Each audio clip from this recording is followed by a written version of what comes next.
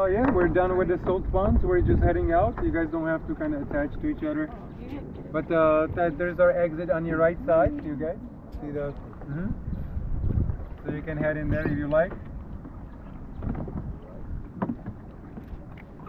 One thing I love about this camera.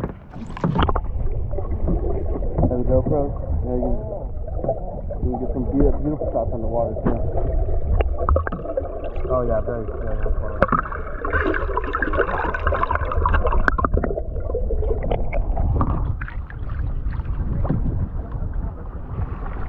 guys.